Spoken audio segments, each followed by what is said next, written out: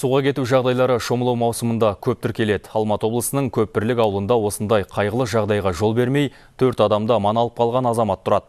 Екі тәулік бойы ескекті қайықта дауыл толқынмен арпалысқан Манарбек Әрібаевтың ерлігін бірі білсе, бірі біле бермейді. Толығырақ өңірдегі тілшіміз Қуаныш Қанатұлы айтады. Төрт жігіт мұз үстінде балық аулауға кетеді. Кенеттен ауа райы бұзылып көл бетінде қатқан мұз жағадан ажырап алыстай бастайды. Ауылдастарын орнынан таппаған манарбек әрібаев бірден шағын ескекті қайыққа отырып ажыраған мұзды қуа жөнеледі. Бір ғана ескекпен есіп отырып төрт сағатта зорға қуып жетеді. Жігіттерді қайыққа отырғызғаннан кейін амалдаудың арқасында аман қалдық дейді.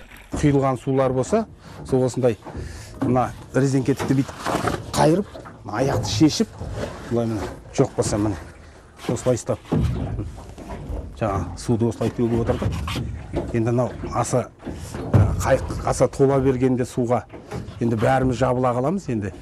Жандарын шүберекке түйген бес азамат жағаға бір жарым тәулік дегенде бірақ жетеді. Оған дейін жел қар толқын тұман көл бетіндегі мұзбен арпалысады. Қараңғы түнде жағаны бағдарлаудың өзі қиямет қайымға айналды. Манарбектің салмақты басқаруының арқасында көрер жарығымыз бар екен дейді аман қалған азаматтар.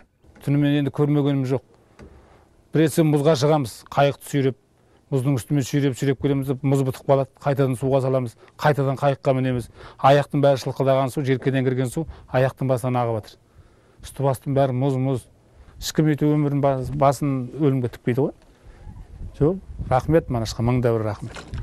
Бір өкініштісі манарбек әрбаевтың осы бір ерлігі елеусіз қалып барады. Кейінгі жастарға патриотизмнің нағыз батылдықтың үлгісі ретінде көрсетуге болар еді дейді ауыл ақсақалдары. Ал бейбіт күннің батыры болса бұл ерлікке атақ даңқ үшін емес балықшылардың әйелдері жесір балалары жетім қалмасын деген оймен барғанын айтады.